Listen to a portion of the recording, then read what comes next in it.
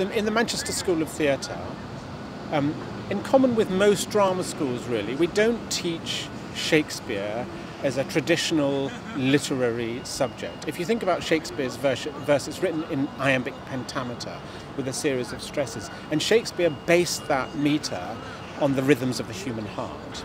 So the way we teach Shakespeare is we encourage our students to inhabit the language and the rhythms of that language, to transform into those extraordinary characters. It might be Lady Macbeth, or it might be Richard III, or it might be the Weaver Bottom, and to create dynamic relationships that, although located initially in an Elizabethan era, speak to us so profoundly in the modern world today. And in those plays, if students engage with them in a practical and vocational and artistic and rhythmic way, then the, the beauty of Shakespeare comes to life in the body and in the voice so that we're moved when we actually go and listen to or watch one of those plays and we're changed by the experience of it. In the Manchester School of Theatre, we emphasise Shakespeare as a form of practice rather than an academic intellectual approach to the study of poetry. It's actually about the embodiment of poetry inside our voices and inside our use of gesture.